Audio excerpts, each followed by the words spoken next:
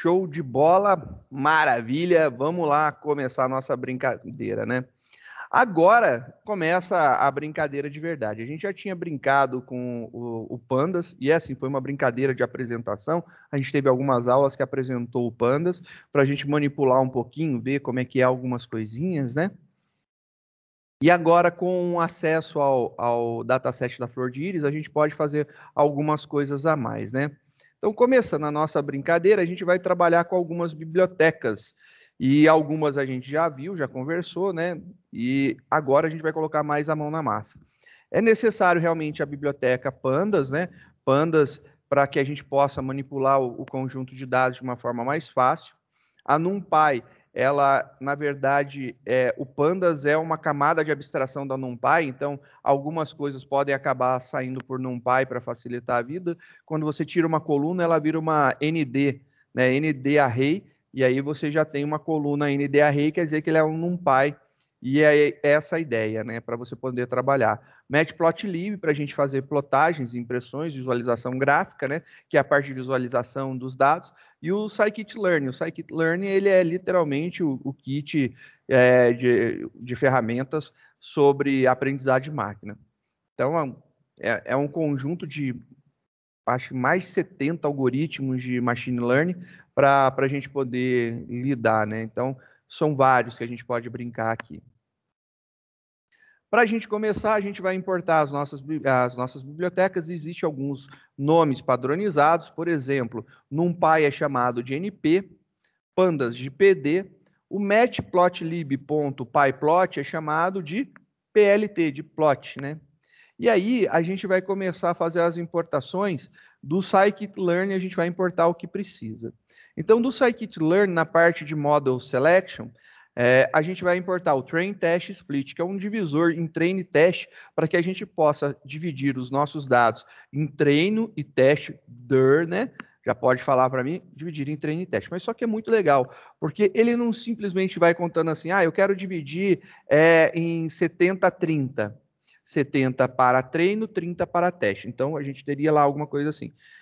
Né? Ele não vai pegar os 70 primeiros, por exemplo, se a gente tiver 100, e os 30 últimos. Ele não faz isso. Ele pega aleatoriamente 70% dos dados e aleatoriamente vai sobrar 30% dos dados, porque você tirou de forma aleatória, ficou lá é, aleatório. Então, o ato de pegar de posições aleatórias torna uma, o, o viés uma coisa menos provável de acontecer. É obviamente que a gente está falando de, é, de randomicidade. Randomicidade é um negócio que não dá para controlar, porque é aleatório, né, a, aleatoriedade, mas a grande probabilidade da gente não ter enviesamento dos dados por pegar de vários e vários pontos. Aí a gente vai trabalhar aqui com regressão logística, eu vou importar também regressão linear, mas eu vou fazer regressão linear separado. Então, é, linear model, importar logistic regression e linear regression. Então, as duas regressões, a gente vai ver, eu, eu vou mostrar o porquê que eu importei uma regressão linear, que é o, o, primeiro algoritmo mais falado de machine learning. Eu não vou começar falando por ele, eu vou falar de todos os outros, depois eu falo dele. Depois a gente vai conversar só sobre ele. É, do Scikit-learn Tree, do SK, é, SKLearn Tree, a gente vai importar o Decision Tree Classifier. Então, é um classificador de árvore de decisão. Por quê? Porque eu quero usar um método de classificação. E aí, quando eu estou falando de linear regression, é, é um método de regressão. Regressão logística, ainda, é, pelos dados que a gente tem, ela se é, se, é, se enquadra em classificação. Ela pode se enquadrar em classificação. Do Neighbors, a gente vai classificar o K-Neighbors Classifier, a gente vai importar ele. É, do discriminante Analysis, o linear discriminante Analysis. Então, a gente vai fazer a importação do, do, da análise de discriminantes. A gente, do Ansible, a gente vai é, importar o classificador de árvores é, aleatórias do Support Vector Machine, o SVM, a gente vai importar o SVC. SVC é o Support Vector Classifier. de métricas, né? A gente tem lá uma biblioteca, um pacote de métricas. A gente vai é, importar o Plot Confu é, Confusion Matrix, o Precision Score, o Recall Score e o Plot Hock Curve, para a gente poder ver a matriz de confusão, é, a precisão, o recall e, o, e a curva Hock também. Então, por conta disso daí. Então, é um pacotão de dados, então é, vai ser um, uma massa do que a gente vai fazer. A regressão linear, novamente, é um problema de classificação. Isso aqui não vai dar tão bom assim, porque é uma regressão. Então, estou utilizando uma regressão para tentar solucionar um problema de classificação. Por isso que não dá tão bom. E eu vou mostrar isso daí para vocês. Rodando esse cara, então a gente começa lá, importado todas as bibliotecas que a gente vai utilizar. A gente vai, eu vou colocar os dados no Google Drive, né? Então, para conectar no Google Drive, é, o próprio Colab ele já te dá essa célula daqui, from é, o pacote google.colab, import drive, e aí drive.mount, e aí aonde você quer montar. Que é exatamente o processo de você vir aqui e clicar na, no montar drive. Só que aqui você faz com chave de autenticação. Então, olha só que legal nesse momento. Eu vou clicar nesse cara para rodar, e aí ele vai pedir para mim assim, olha, você tem um endereço, entra com código de autorização aqui. Ele utiliza o OAuth lá para o OAuth 2 para fazer a autenticação, eu clico, ele vai me mandar para minhas contas de autenticação, eu vou lá, me autentico na minha conta, faço login já autorizando, passou lá a chave, copiei esse cara, aí eu já posso fechar e aí colo e bora para frente. E aí ele está montando o drive a partir de agora. Meu código de autorização serviu para esse momento, beleza.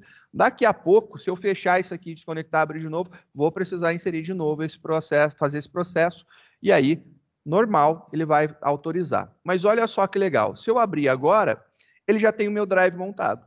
Tendo o meu drive, eu recomendo para vocês, né, se o seu tiver lá o, o Colab Notebooks, coloca lá dentro do Colab Notebooks é, os seus arquivos. Eu criei uma pastinha é, SVC e eu tenho aqui os meus é, arquivos em CVS, CSV, né? CVS é o quê? CSV, CSV. Que eu tenho o Iris, que é esse cara daqui, que é exatamente o que eu vou querer utilizar.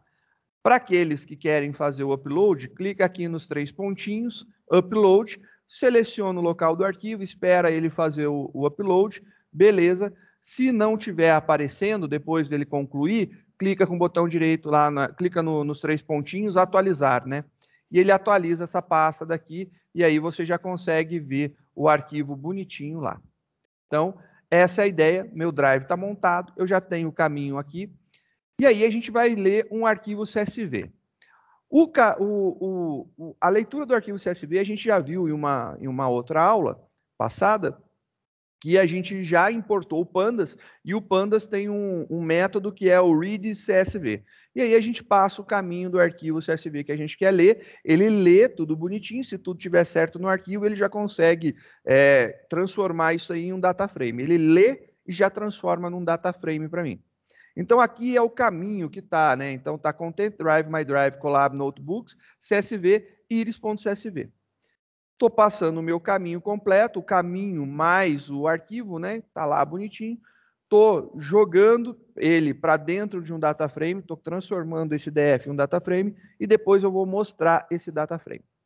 Clicando lá para rodar, ele conectou, puxou e olha lá, aquele íris CSV é o que eu mostrei na aula passada, que tem o sepal length, o sepal width, o petal length, o petal width e o species, setosa, é, virgínica e versicolor. Né? Aqui, como eu disse para vocês na, na aula anterior, quando a gente estava mexendo com, com data frame, né?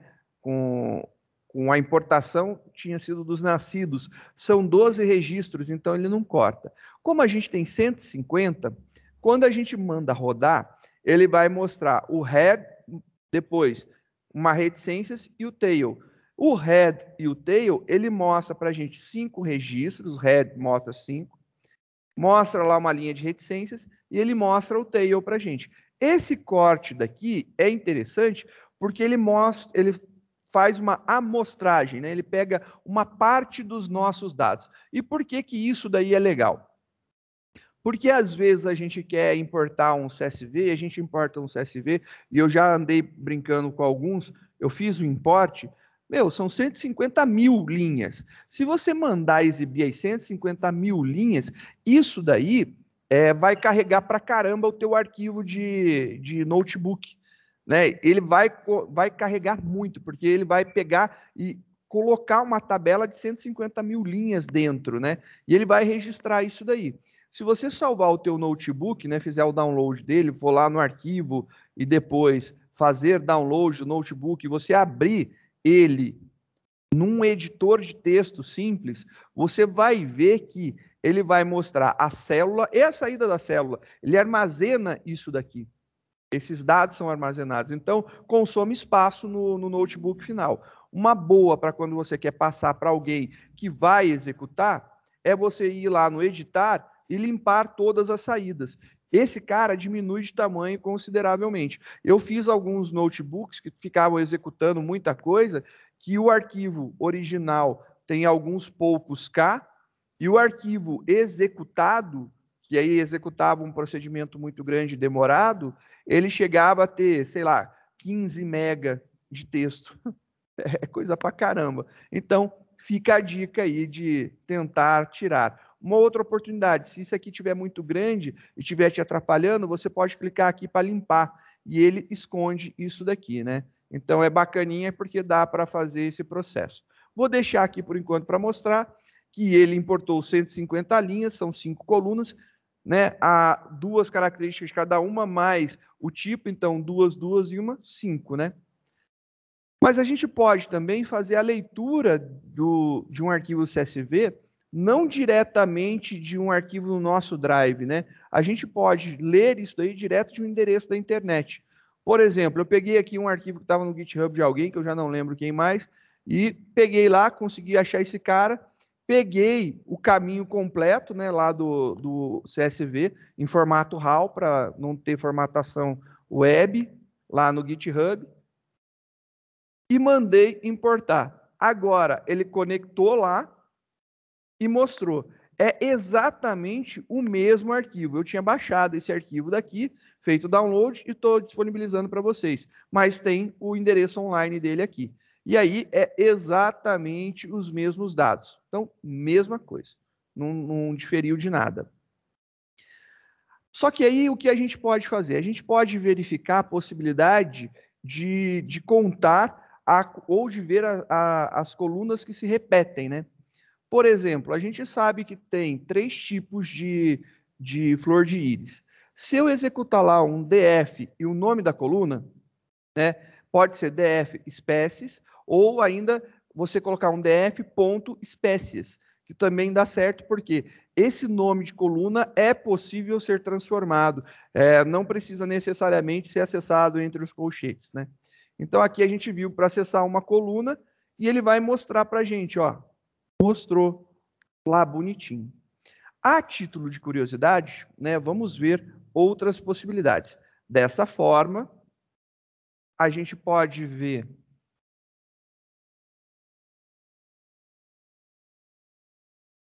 dessa forma, que é exatamente a mesma coisa. Olha lá, é, é, a maneira de chamar é diferente, mas é o mesmo resultado. Lembrando que as colunas que têm caracteres especiais, elas não se transformam em campos desse jeito. Então aí não dá para usar, tem que usar a referência dessa forma. Por isso que eu comumente uso isso daqui para não correr o risco, né? É, de fazer nada, de esquecer nada, eu já uso desse jeito sempre. Mas vamos ver o tipo desses dados, né? É, type. E aí, tanto faz um ou outro, vamos ver isso daqui. Executando. Olha lá, é um Panda Score Series Series, né? Series Series. Tá lá as séries, né? Essa série daqui é literalmente um array NumPy, né? Que ele tem para poder manipular. É a forma de abstração que a gente tem. Então, é uma série que a gente vai lidar. Se eu quiser ver o número de ocorrências individuais, eu posso utilizar o value count, Então, quando eu quero contar, né, deixa eu só limpar aqui as saídas, né? Quando eu quero é, verificar a quantidade de tipos duplicados, eu posso usar nome do campo, ponto, value counts, contar é, valores, né, contagens de valor. Então, eu vou contar lá um determinado valor. Olha que legal.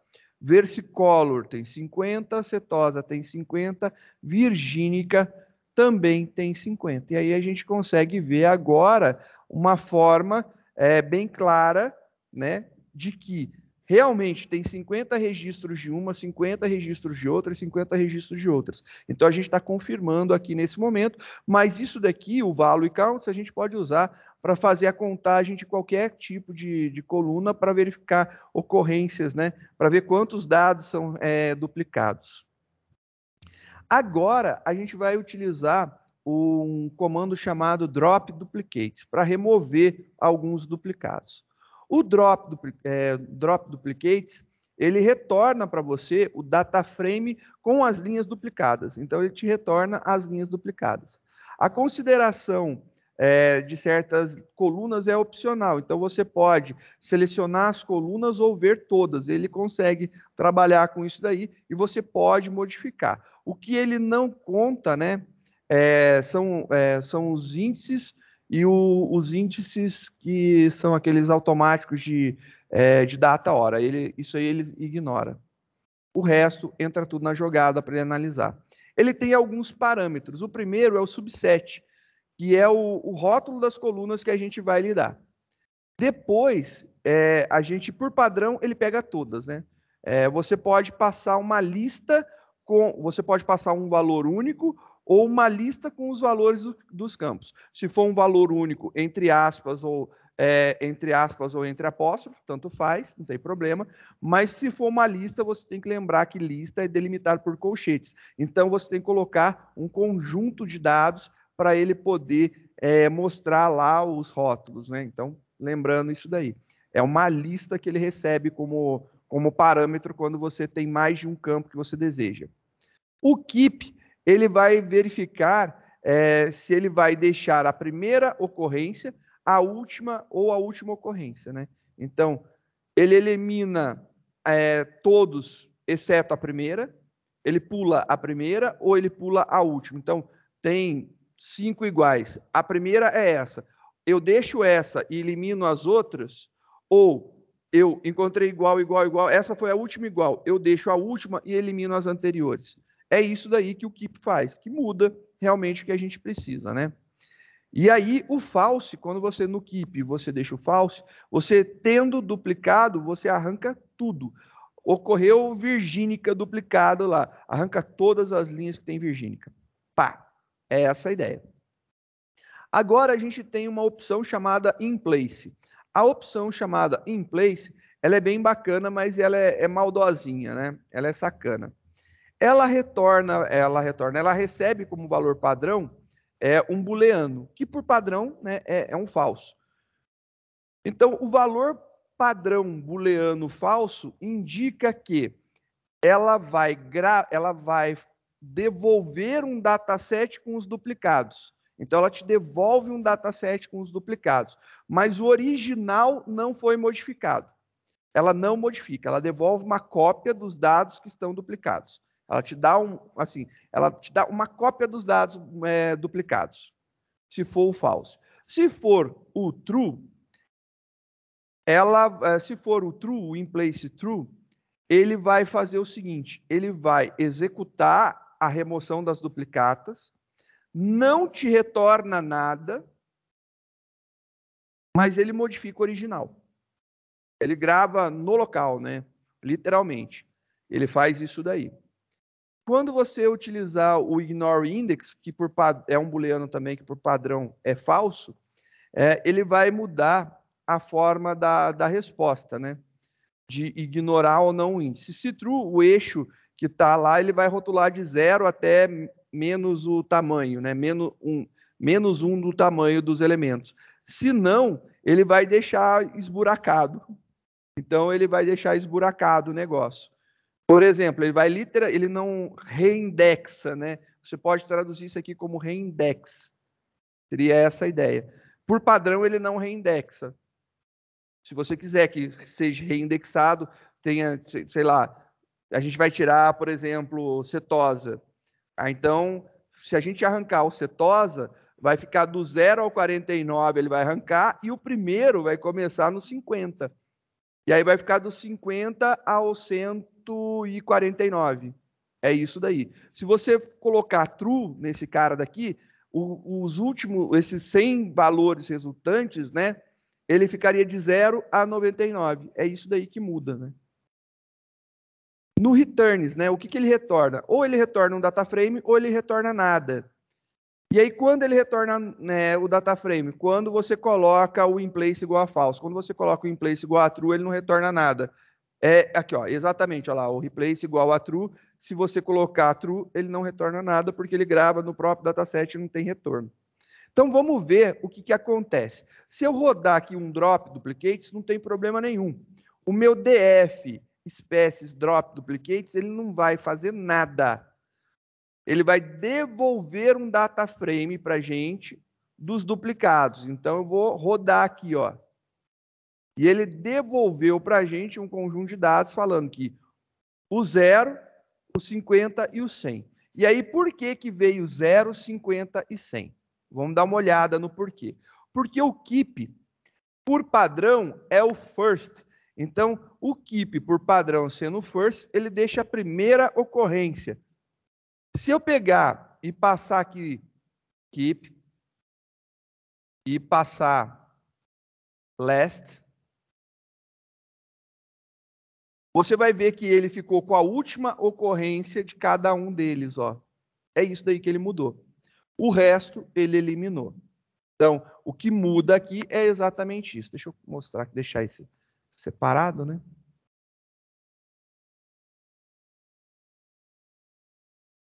sem nada. Ele vai mostrar a primeira ocorrência de cada um deles. Com é, o keep last, ele mostra a última. E aí você deve estar falando, tá, e se eu fizer o, o outro parâmetro lá, se eu jogar um, um false da vida? Se você jogar um false, ele não mostra nada, porque tem duplicata de tudo. Ele vai limpar o nosso data frame, então não vale a pena nem mostrar. Agora, o que, que a gente precisa fazer? Eu já mostrei para vocês como que a gente vai verificar se há né, é, duplicatas. E agora a gente vai separar os nossos dados em treino e teste. A gente vai utilizar aquele é, o, o train test split. Então vou mostrar aqui um, uma imagenzinha bacana para separar os nossos dados né, originais. A gente pode utilizar aí é, 70, 30, 20, 80, depende muito da quantidade dos dados, né? Mas tranquilo, a gente pode separar dessa forma, né? Então a gente pega os nossos dados originais, ele vai pegar 80% aleatoriamente e vai colocar como dados de treino. E o restante, os 20% que restar, são os dados de teste que ficaram também de forma aleatória, já que a gente pegou aleatório esse, o que sobrou foi aleatório.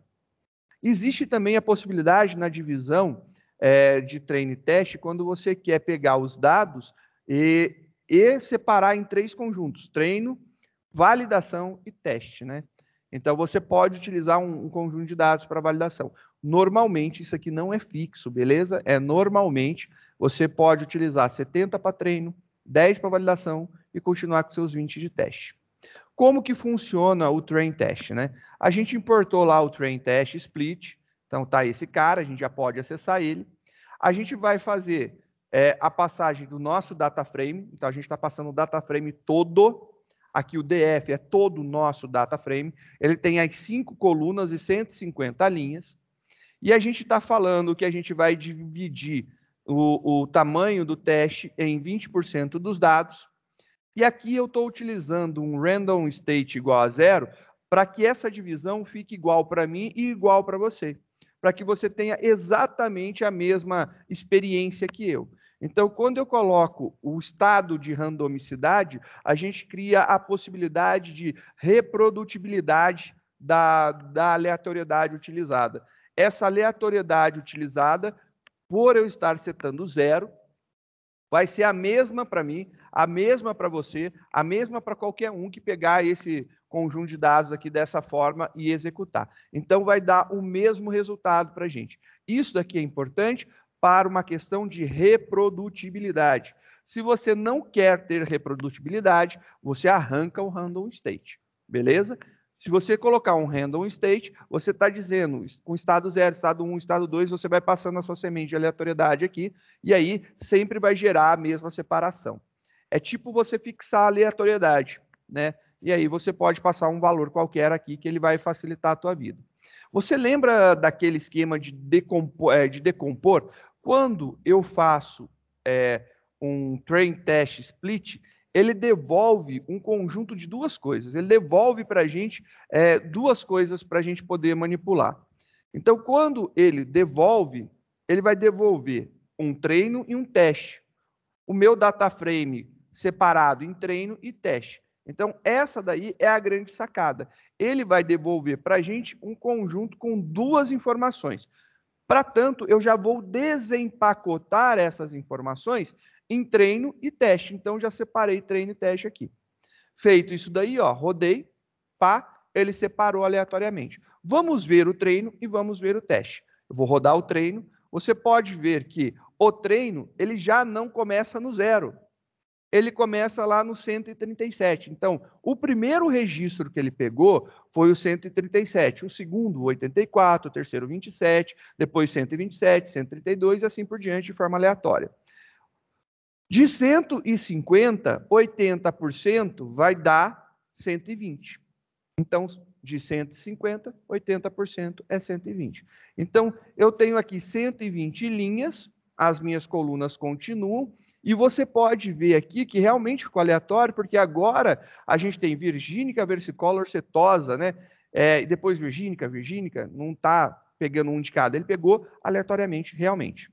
Se você rodar o teste, você vai ver que o teste ele ficou com é, os 30 registros. Aqui tem um total de 30 registros é, que foram listados. 30 registros aqui. Então, o teste, minha base de teste, tem 30 registros. Agora, para evitar o problema de enviesamento dos dados, existe uma técnica muito bom. A primeira coisa que você deve fazer é, é separar os seus dados em treino e teste. Depois que você separou em treino e teste, a partir deste momento é que você vai fazer as limpezas. Porque se você limpa seus dados antes de separar, você cria enviesamento dos dados. Quando você faz essa separação, óbvio que pode acontecer de você perder muita informação no treino, perder muita informação no teste, mas tranquilo, faz parte. Se não ficar muito bom, a gente reduz isso daí ou muda o random state para poder ficar com mais dados, se ele ficou com, é, com pouco dado para testar, por exemplo, né? Agora, existe uma forma de executar uma consulta, né? E aí, aqui tem uma, algumas possibilidades, né? É, por exemplo, vou, vou mostrar separado aqui. Eu quero, vou pegar aqui dos dados de treino, que ele é um data frame, né? É, é, um, é um DF lá com um nome diferente agora. Eu quero trazer é, o campo espécies. Quero trazer as espécies. Opa. Se você fizer isso, ele traz todos os valores daquele campo. Então, ele trouxe a coluna toda. Tá, mas e se eu quisesse trazer uma espécie igual a alguma coisa? Por exemplo, espécie igual a. É, vou pegar aqui cetosa. Eu quero que a espécie seja igual, igual a cetosa. Quero ver lá, cetosa. Quando você faz isso daqui, ele gera erro para você. E aí, como que eu posso é, tratar isso daqui, né? essa dor de cabeça é grande, porque a gente acha que dá para colocar um igual igual ali e funciona, e não é bem assim. É assim, mas não é assim, né?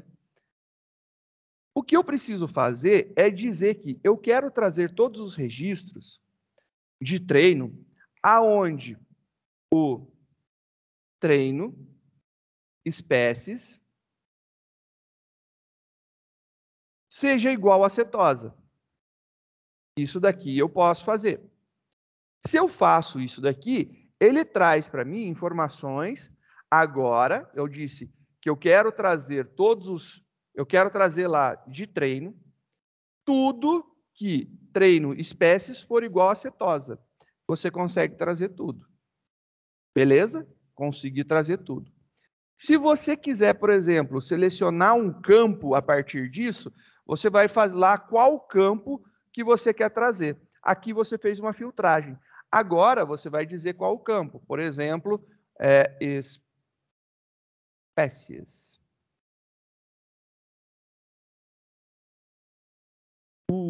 Que, cadê? Nossa, cadê, cadê, cadê? Aqui.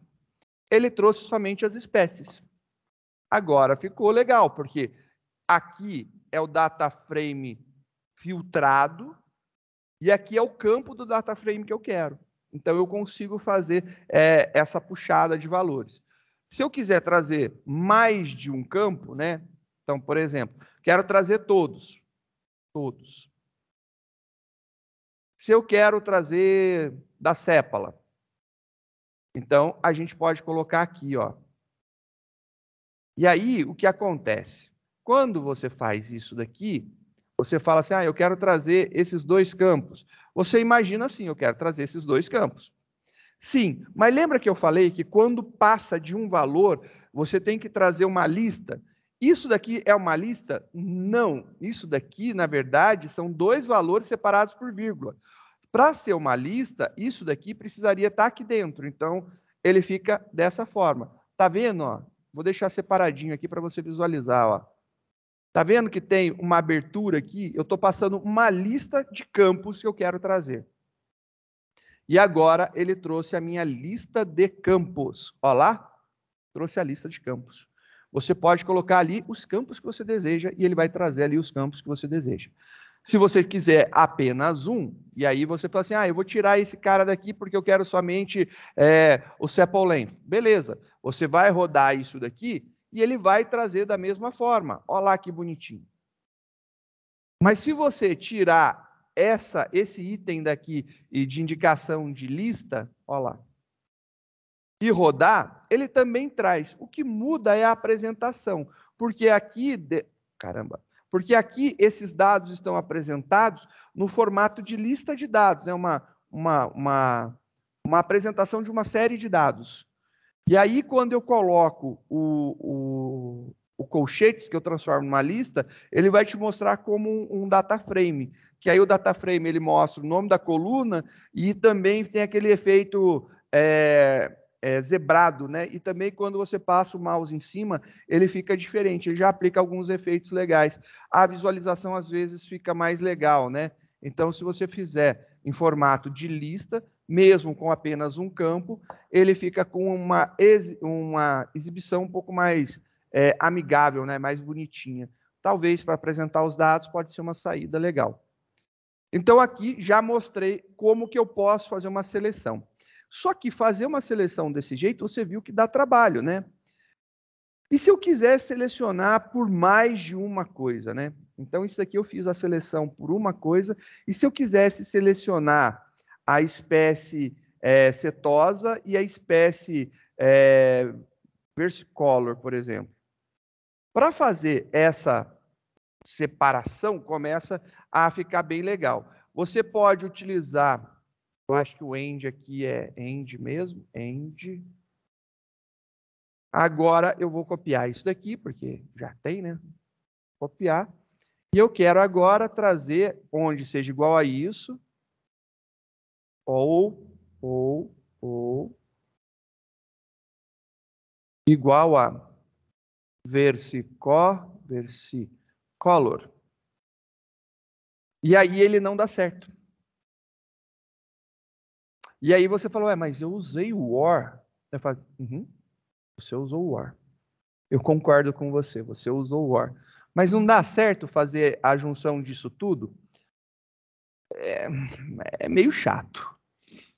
Quando começa a ficar muito grande, se você pegar isso daqui, ó, e falar assim: ah, eu quero fazer desse jeito, colocar parênteses em tudo.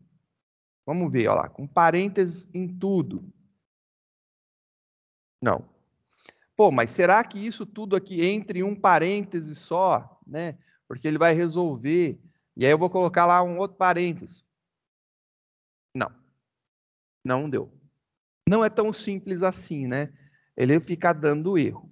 Para quando você quer fazer múltiplas seleções, a técnica de filtragem direta não é a melhor. Então, ela não, não responde à demanda, à necessidade que a gente tem. Para fazer esse tipo de filtragem, só para ver se eu não apago bobeira, né? Se você quiser fazer um, uma filtragem complexa, né? Eu acho melhor você executar através de uma query, né? De uma query.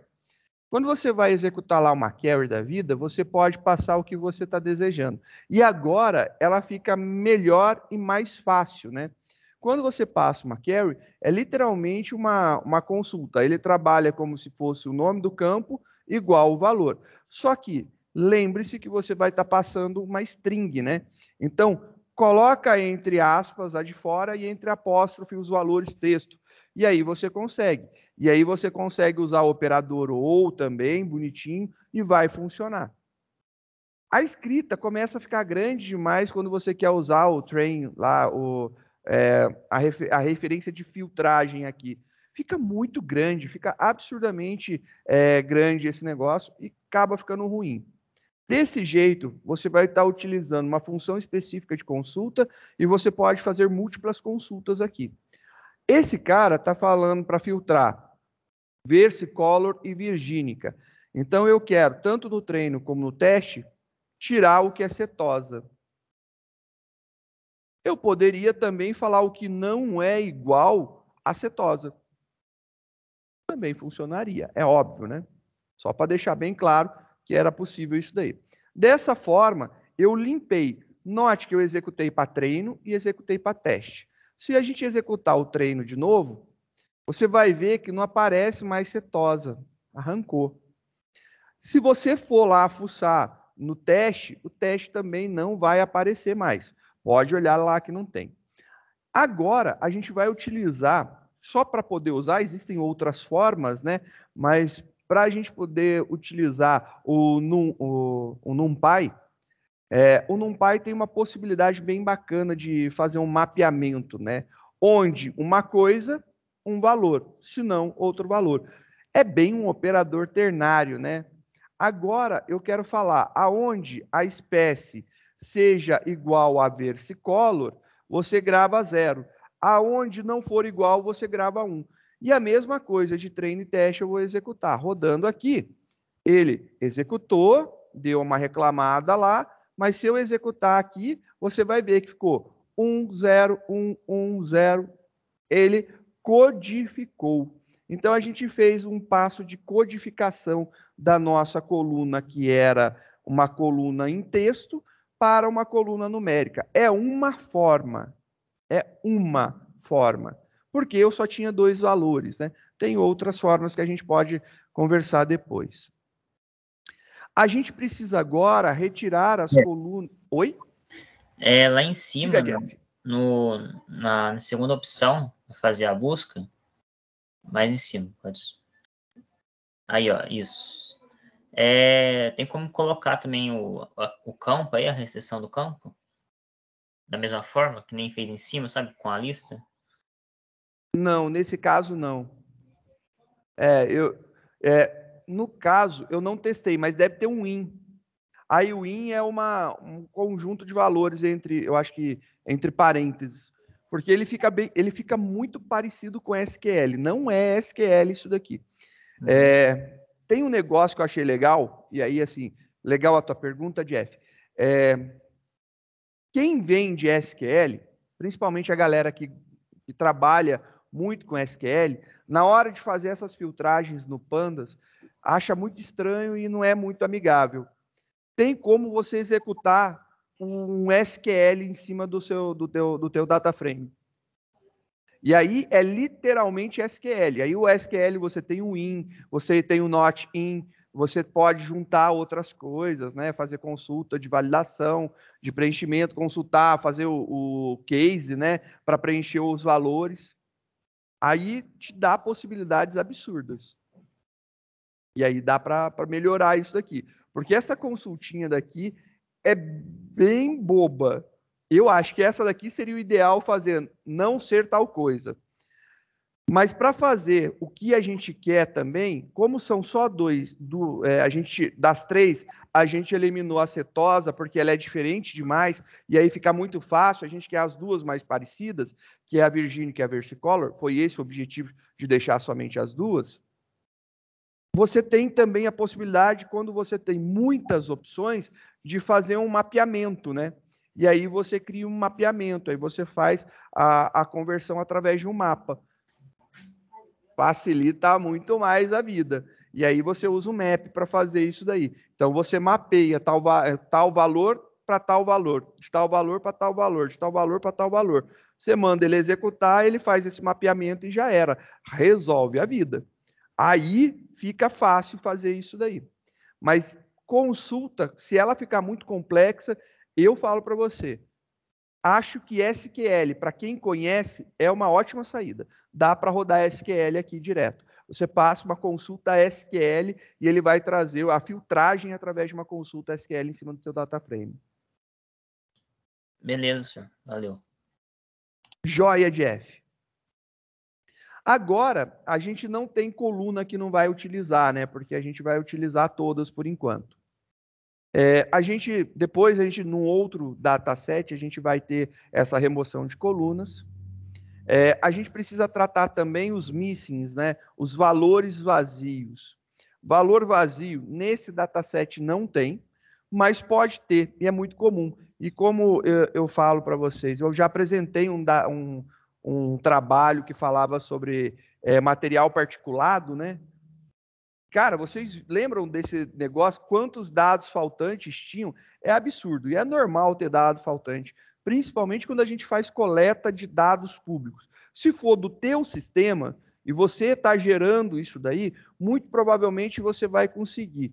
Você pode ter, por exemplo, isso aqui não ser um campo obrigatório de ser preenchido aí fica vazio na hora que você faz o join das tabelas, né? Aí você faz lá um, um left join e aí fica com, com valores vazios. Na hora que você exporta os dados para trabalhar, você tem esses buracos. Isso daqui pode te dar problema. Às vezes a gente tira, é uma possibilidade.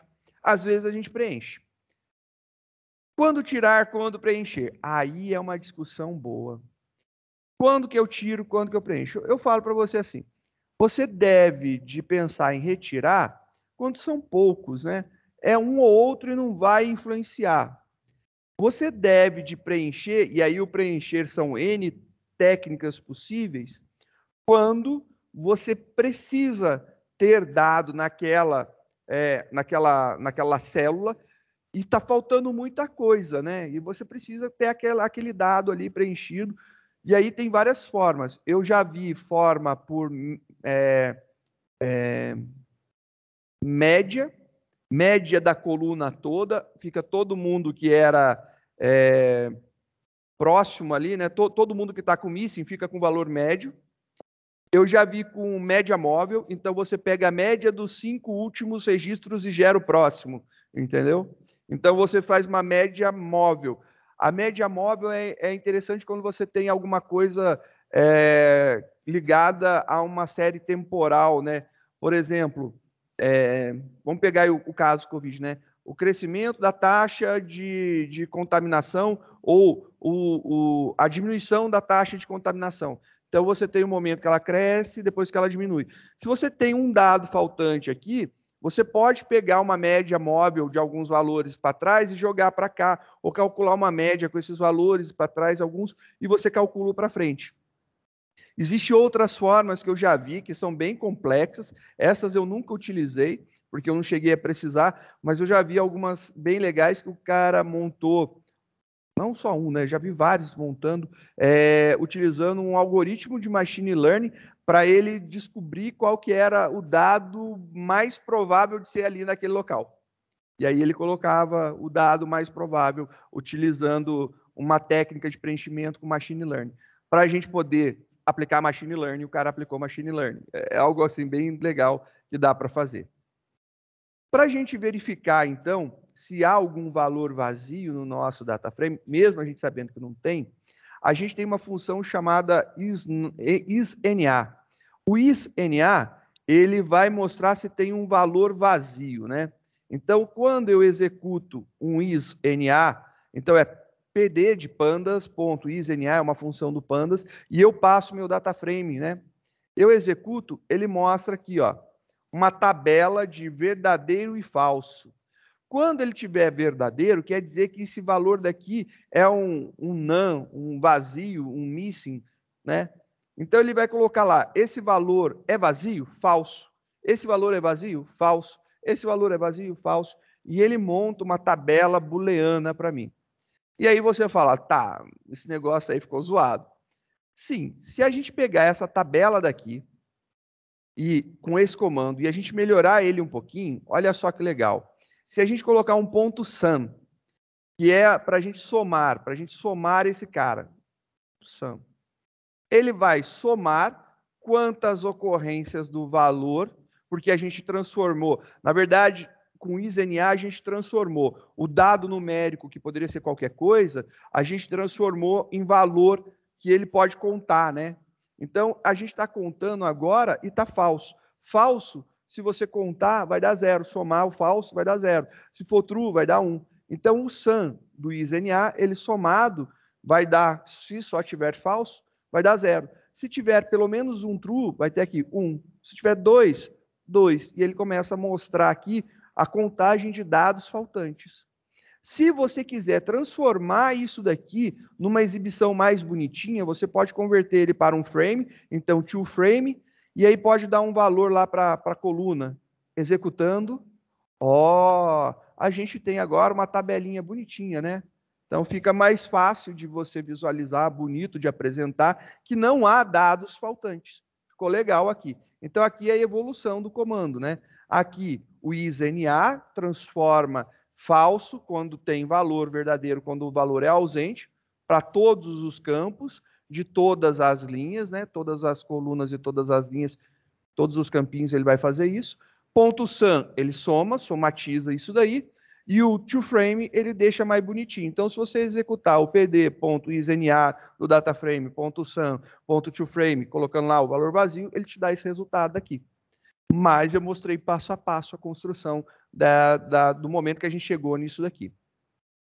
A gente tem também a possibilidade da conversão, né, de fazer a, a, a, a transformação dos dados categóricos em, em dados numéricos. Porque a gente está lidando com estatística. Estatística não consegue falar com palavra, a gente só consegue lidar com número. Então a gente tem que transformar, se for necessário, um campo texto em um campo numérico. Então, isso daí é uma possibilidade. Então, a gente poderia fazer esse tipo de conversão. Esse tipo de conversão é bem legal, olha lá. Eu tenho aqui é, o pet, né, o campo pet, e aí eu tenho cat, dog, turtle, fish, cat, tem vários. Só que eu preciso dizer se é gato, se é cachorro, se é peixe, se é tartaruga, né? E aí eu vou transformar, fazer um cross tab, né?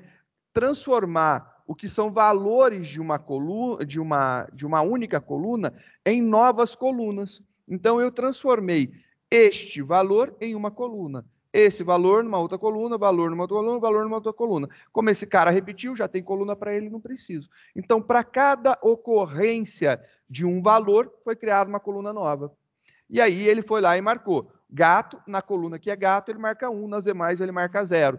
Cachorro, na coluna que é cachorro, marca 1, nas demais ele marca 0, e assim por diante. Feito isso daqui, a gente não tem também essa necessidade, que os nossos dados já são numéricos, a gente já fez a nossa conversão. A gente tem que separar agora os nossos dados, que é o treino, que é, é, é o treino que está aqui a parte de cima, né, por exemplo, e o teste, que, por exemplo, é a parte de baixo. A gente tem que separar a nossa variável objetivo, que a gente quer calcular, dos nossos dados que são as nossas features, né, que a gente vai utilizar para chegar nela. Então, Com base nessa ideia, a gente vai ter um treino dividido em X, que são os, as features, e Y, que são que é o nosso target, né? Então, X teste, Y teste. O X, lembrando, o X representa nossas features e o Y representa o nosso target, nosso alvo. Para separar isso daqui, né, é importante a gente ver uma separação, como que se faz. Se eu executar aqui e mostrar como que está o treino, né, você está vendo lá que tem uma, duas, três, quatro, cinco colunas. Eu quero separar essa coluna daqui, espécies. Eu quero deixar essas quatro daqui em um data frame e essa outra em outro data frame para eu poder lidar. Esse daqui eu vou chamar de, é, de X treino e esse aqui de Y treino. Vou limpar aqui só para rodar outro comando para vocês poderem ver. Então lá, treino x é igual a train.drop espécies. E aí quando eu faço um comando drop, eu tenho aqui um, um axis. Esse axis, ele significa o seguinte, quando o valor é 1, ele vai tirar a linha. Quando o valor é zero, ele vai tirar a coluna. Então, eu quero tirar a linha e não as colunas. Rodando aqui. Vou exibir agora o treino X para a gente ver. É, perdão, coluna. Eu acho que é o contrário. Acho que eu falei o contrário. Falei o contrário. Ele tirou a coluna de espécies. Se você rodar lá no Y, eu tenho somente o 1, 0, 1, 0, 1, 0, 1, 0. E agora vem a grande mágica, né? A gente precisa agora, a gente já tem os nossos dados totalmente separados, a gente tem o treino separado nos nossos, nas nossas features, o treino separado em teste, é, separado no nosso target, o teste separado nas nossas features, o teste separado no nosso target. Então, separou, separou. Temos quatro conjuntos de dados agora. Agora, a gente precisa é, ver é, que a nossa, a nossa variável é, target, ela tem que ser categórica. Ou seja, ela é ou não é. Zero ou um. Zero ou um. A gente já fez isso. Então, para o esquema de classificação, então, algoritmo de machine learning supervisionado, agora a gente tem de regressão e de, é, e de classificação. A gente vai utilizar de classificação. Para treinar o nosso modelo em classificação, a gente tem aqui a regressão logística, a análise de discriminante linear, é, a árvore de decisão, decision tree, o, os vizinhos mais próximos para classificação, KNN, Support Vector Machine para classificação, SVC, e o Random Forest para classificação. Então, a gente tem lá seis algoritmos que é, a gente vai utilizar. Então, de uma batelada, a gente vai testar seis algoritmos, beleza? A gente já vai mandar a bala em seis algoritmos. Só lembrando que fit quer dizer treinar. Então, é, a gente vai treinar o nosso modelo, a gente vai treinar o nosso modelo com os dados de treino. Então, a gente vai passar o treino, o X, treino X, e o treino Y. Por quê? com base nesse valor, você tem que chegar, com base no, no, x, nos vários x, você tem que chegar no y. Com base nos vários x, deu esse, esse y. Com base nesse x, deu esse y. Com base nesse x, deu esse y. E ele vai entender isso daí. E depois a gente vai pegar o nosso teste, e o nosso teste a gente vai fazer o quê? Eu vou passar o treino é, de te, é, o, o teste x, e eu vou comparar se a resposta que ele deu bate com o meu, com o meu teste Y lá. Se deu, quer dizer que tá bom, quer dizer que ele aprendeu direitinho a fazer. Então, ele teve o aprendizado dele aí nesse momento. Aqui eu criei uma, duas, três, quatro, cinco, seis, sete. Eu criei um a mais aqui, que é para mostrar a regressão linear. Regressão linear, lembro, a gente está lidando com um problema de classificação e regressão linear é um problema de regressão. É uma solução para um problema de regressão. Então, vai dar algum chabuz. Para usar a regressão logística, eu tenho a, a, função que a gente já importou, né? Logistic Regression. E aí o resolvedor vai ser o LBFGS, aí é consultar a documentação. Eu tive que fazer umas pesquisinhas, porque não estava dando, eu estou tendo que passar esses parâmetros. O max iter, que é um número máximo de iterações, passei mil. Então, essas duas informações para a regressão logística foi necessária. Como que eu descobri isso? Pesquisando. Não, não assim, fui colocar bonitinho para rodar, não deu certo. Pesquisa lá, dá uma googlada, lê sobre e você vai ajustando e colocou e cheguei nisso daqui, deu certo. Para o algoritmo de regressão logística, eu estou mandando ele treinar com o, o, os meus, as minhas features, tendo como alvo esses, é, esse target daqui, o Y. Então, train X e train Y. É isso que eu vou passar em todos.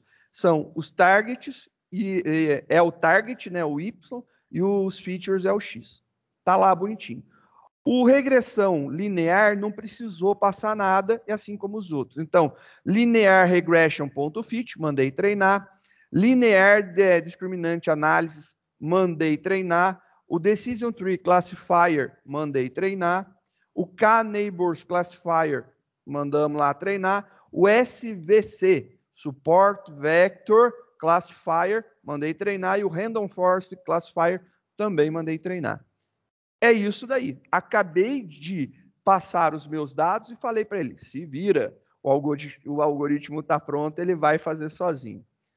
E aí ele acabou de ensinar, né? Então, o algoritmo acabou de ser treinado. Dentro de cada uma dessas variáveis, eu tenho o resultado desses treinos daqui. Né? Então, cada treino desse, eu guardei o resultado em uma variável. Mas e para verificar né, qual que é o melhor modelo? Para verificar qual que é o, o, melhor modelo, como a gente está lidando como, é, com classificação, classificação, a gente tem uma, uma medida chamada acurácia. A acurácia ela é dado pelo score. Então, esse objeto criado daqui, ele tem uma, uma, uma propriedade, uma função, né, chamada score. E esse score, se eu passar os dados de teste, ele consegue calcular para mim qual que é a acurácia, qual que é o score daquele, daquele algoritmo que eu treinei. Só para a gente dar uma verificada, né? Vamos mostrar aqui, ó, type, eu quero ver aqui de linear regre é, logistic regression. Eu quero ver o, o, tipo desse negócio daqui. E aí você fala assim, pô, eu mandei ele mostrar o tipo desse cara daqui. É. Por que, que não funcionou? Porque eu não rodei, né? Rodei, rodei, rodei. Por causa disso. Treinando, treinando, treinando, treinando. Agora vai rodar. Por que, que não apareceu? Porque eu não rodei. Agora sim, olha lá. Ele é um scikit-learning linear model Logistic, Logistic Regression. Então ele mostra o tipo desse cara. A mesma coisa, sei lá, vamos ver aqui um, um, um Random Forest. O Random Forest, ele é um Scikit-Learn Ansible Forest Random Forest Classifier. Então ele mostra o tipo do dado para mim. Então esse cara tem algumas vantagens, eu consigo pegar algumas funções dele. Então só para ver, por exemplo, né? Pegando aqui, eu vou pegar um decision tree. Esse Decision Tree, olha só o tanto de coisa que eu tenho, né? Eu tenho Apply, CP, é, CCP Alpha, Class, Hey, Classes, é, Coast Complexity Pruning Path, é, Criterion, Decision Path, Feature é, Importance, Feature Names in, Fit, Get, Def, Get não sei o que, Get, não sei o que, Max, não sei o que, tem um monte de Max lá. Aí tem os N, Classes, Features, Outputs, tem os Predict, tem os random state, o score, o set, e aí você tem aqui todo o conjunto de coisas que a gente pode utilizar no decision tree. No nosso caso aqui embaixo, para a gente pegar o score, a gente foi lá e pegou o, o score aqui bonitinho, olha lá. A gente foi lá e pegou o score. E o score, ele é uma função que ele vai receber o, a, o x grandão é sempre para representar suas features e o y pequenininho para representar é, o, o seu alvo, né? E aí ele vai mostrar para você aqui é, que ele já tem um sample weight, que é igual a anônimo, mas você pode mudar dependendo do, do que for necessário fazer. Só para mostrar, então, vou tirar esse cara aqui que não tem necessidade, só para mostrar agora como que ficou. Já está treinada é, os nossos algoritmos. Eu quero agora verificar se ele está bom, se ele está inteligente, se ele aprendeu alguma coisa. Se eu clicar aqui para rodar,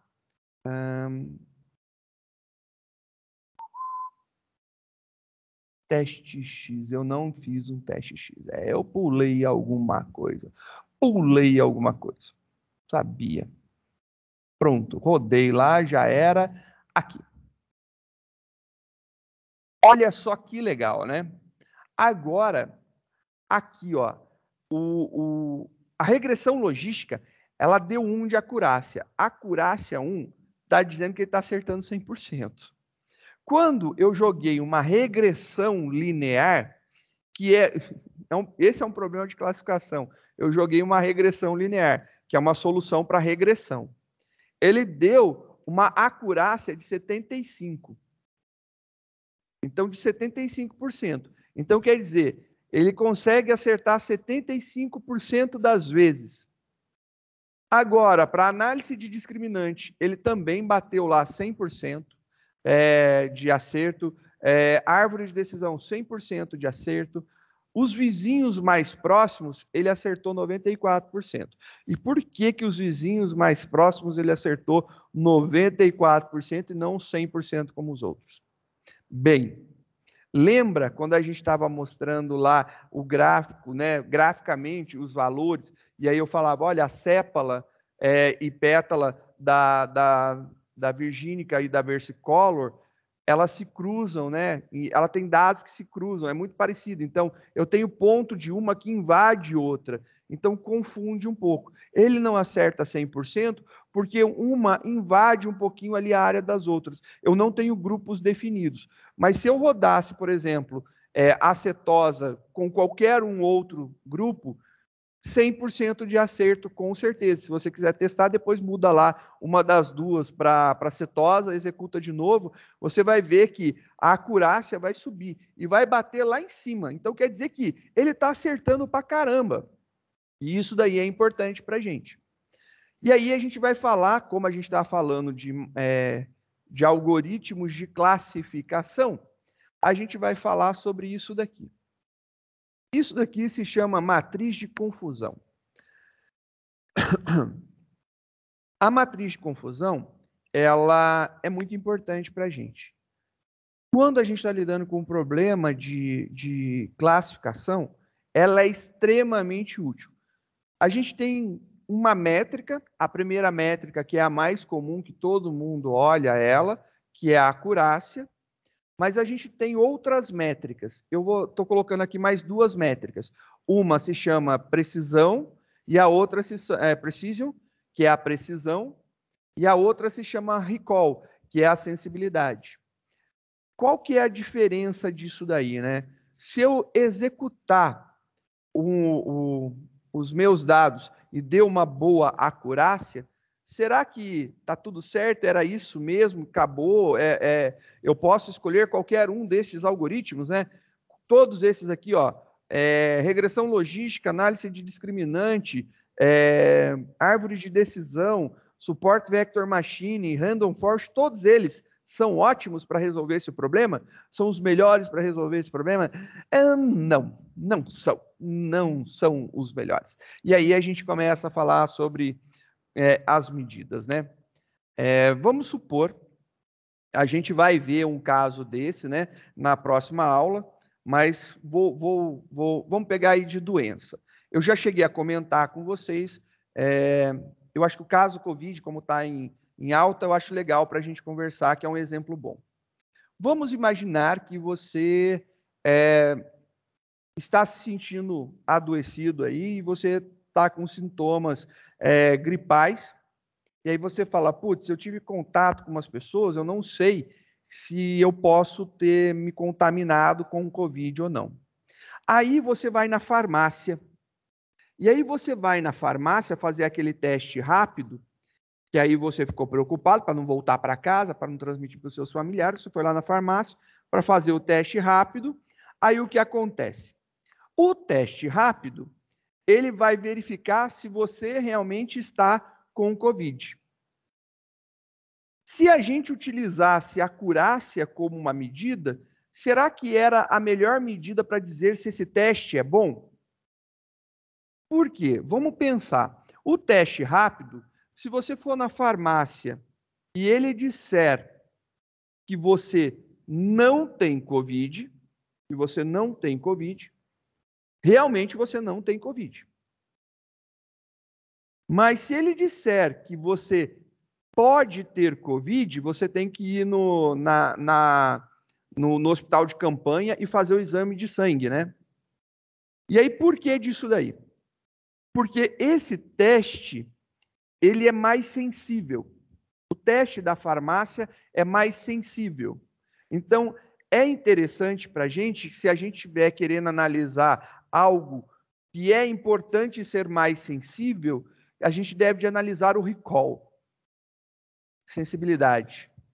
Mas, por exemplo, deu positivo no teste da farmácia. Aí você foi fazer o teste sanguíneo. O teste sanguíneo deu negativo e você realmente não estava com Covid. O teste sanguíneo, ele é mais preciso, mas ele é menos sensível. Esse cara daqui, muito provavelmente, ele vai indicar que existem menos pessoas com é, falsos positivos do que esse daqui. Esse aqui vai dar mais falsos positivos, né? É, falsos negativos, indicando que ele está realmente com, com a com a doença. Então, nós temos aqui o caso, por exemplo, você não está com Covid. Então, você está aqui, ó. Você não está com Covid. Verdade, né? O caso verdadeiro. Você não está com Covid. Mas você fez o exame de farmácia e ele te deu positivo. Então, quer dizer que esse aqui é o true negative. O true negative, né?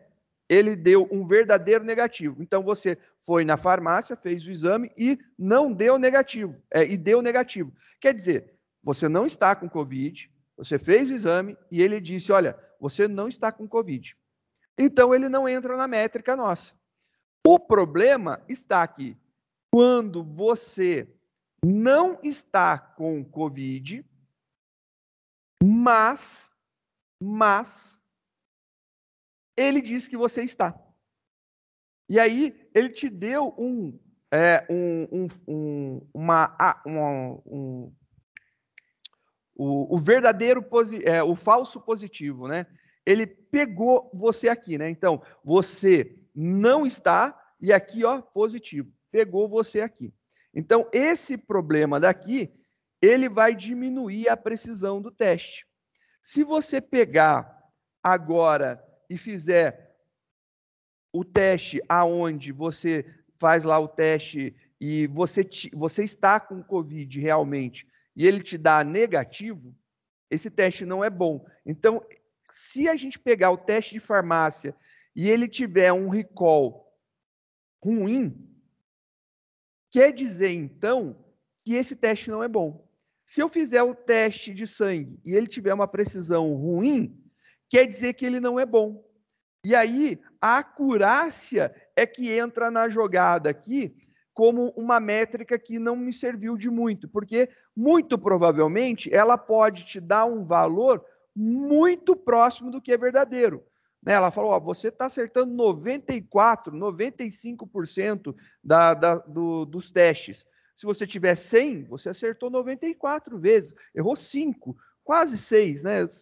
Cinco, seis vezes. Você erra entre cinco e seis vezes. Meu, às vezes a acurácia está batendo alta. Testa a precisão e o recall para verificar se esses valores continuam. Então, você tendo a precisão e o recall junto com a acurácia, você consegue chegar numa métrica mais verdadeira. Dependendo do que você precisar, você vai optar mais pela precision ou se não mais pelo recall, mais pela precisão ou mais pela sensibilidade. É essa a ideia que a gente tem aqui. Com base nisso, eu vou mostrar a matriz de confusão. A gente tem a importação é, desse pacote lá em cima, que já foi feito, e eu vou importar aqui a matriz de confusão. A matriz de confusão eu estou passando aqui como parâmetro, É, esse daqui foi é, a regressão logística, passando o meu x de teste e o meu y de teste. Eu quero ver. E aí ele gerou para mim uma matriz de confusão. Ele acertou né, o que era para acertar todas as vezes, e ele errou, ele errou, disse que era um, né, todas as vezes, e disse que era, disse que era zero todas as vezes, aqui é o zero e aqui é o zero. Aonde era zero, ele acertou 13 vezes e era para ser zero. E aonde era um, ele acertou seis vezes aonde era um. E ele não errou nenhuma das vezes. E aí a gente pode mudar, por exemplo, para o. Qual foi o que deu ruim? Foi o KNN. Eu usei o nome KNN.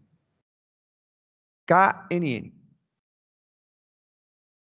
Olha só o que, que aconteceu. Agora, no nosso KNN, ó só, ele tinha que dizer, né? Aqui é o, o label verdadeiro. Ele tinha que dizer zero, mas ele disse um. Não era para ser de um tipo, ele disse que era outro. Se, é, se eu estou bem lembrado, quem que é o zero, quem que é um nosso? Zero. Cadê? Cadê? Está aqui em cima. O zero era para ser versicolor, ele disse que era virgínica. É isso. Era para ser versicolor e ele disse que era virgínica. Olha lá. Era para ser versicolor, mas ele disse que era virgínica. Daí a nossa matriz de confusão explicando o que está acontecendo. Ele se confundiu em uma que era para ser versicolor e ele achou que era virgínica. E aí a gente pode fazer uso da curva ROC.